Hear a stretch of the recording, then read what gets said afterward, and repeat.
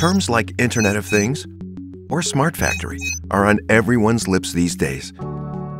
They stand for the intelligent exchange of data and the digital networking of sensors, machines, and systems.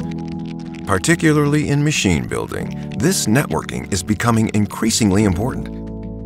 With the A1200 pressure sensor with IO-Link communication, WIKA provides the ideal sensor for modern machine building. Through the IO-Link communication, the A1200 is ideally suited for use in intelligent machines. Its integrated diagnostic function monitors the instrument status around the clock. Moreover, it can easily be configured and adjusted externally. Even in harsh environments, the A1200 is extremely durable.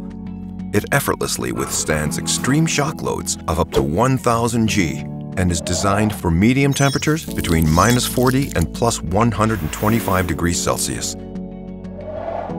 In addition, integration into OEM series production is easily possible with the A1200. It can be flexibly configured within its form and, on request, will be adjusted to your individual parameters by WIKA before shipping.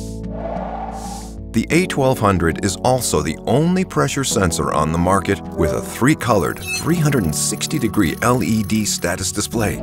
It allows for fast error detection and correction, which significantly reduces unplanned downtimes.